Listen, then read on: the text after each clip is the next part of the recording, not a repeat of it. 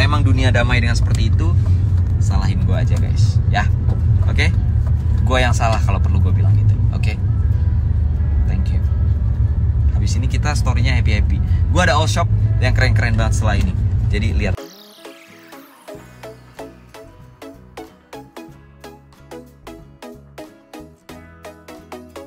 Pasangan Alvin Faiz dengan Henny Rahman nampaknya sengaja memutuskan akses bertemu anak dari mantan istri dan mantan suaminya.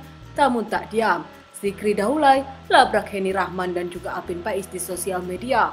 Tak tanggung-tanggung, kekesalan Zikri Daulay saat tahu dirinya diblokir oleh Henny Rahman dan juga babysitternya sehingga Zikri tak bisa berkomunikasi dengan anaknya memuncak. Zikri pun ambil tindakan. Sebelumnya, sebelum Zikri membuat status di sosial media, ada Larissa Chow yang memposting kalau dirinya di SMS Henny Rahman, bahkan SMS-SMS-nya terdengar sangat menakutkan. Larissa Chow tak bisa mempertemukan anaknya dengan Alvin Faiz karena diblokir, begitu juga Zikri Daulay. Diblokir oleh Henny Rahman dan babysitternya sehingga tak bisa berkomunikasi dengan anak, Pasangan Alvin Faiz dengan Henny Rahman kini tengah menjadi sorotan bahkan dinyinyir para netizen karena keegoisan menjauhkan anak kandung dengan ayah dan ibunya. Ini apa yang di screenshot si kawan, gue tuh baru jalan, baru saya mandi, baru megang HP, diseterin bapaknya lagi juga, makanya nih kenapa handphone rame tuh apa sih? Apa gue ada salah mencet tadi postingannya? Kalau ada, forgive me ya.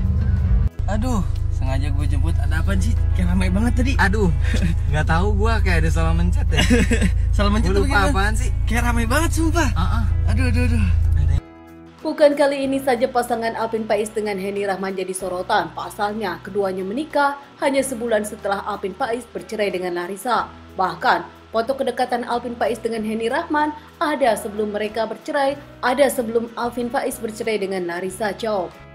Para netizen yang tak menyukai pasangan ini pun berkomentar di sosial media. Dari Alvin Faiz dengan Henny yang sifatnya menjatuhkan pasangan masing-masing hingga kini menjauhkan anak dari pernikahan-pernikahan sebelumnya dengan orang tua mereka. Ini dia komentar-komentar para netizen untuk mereka. Karena ternyata tak hanya gosip, namun mantan pasangan mereka punya bukti. Oke guys, sebenarnya gue pengen lanjutin Q&A-nya. Tapi karena 99% pertanyaannya menjadi tidak seru dari judulnya seru, jadi gue putuskan untuk sepertinya berhenti aja atau nanti gue lihat lagi deh pertanyaannya. Tapi kalau kalian semua mempertanyakan itu, gue akan bilang ke kalian, gue nggak bisa ngatur pikiran kalian, gue nggak bisa ngatur kalian mau ngomong apa. It's up to you guys. Kalau kalian tetap pengen cari siapa yang harus disalahkan, salahin gue aja. Hey boys and girls, if you like our video, subscribe here. Click here for our new videos and click here for something just for you.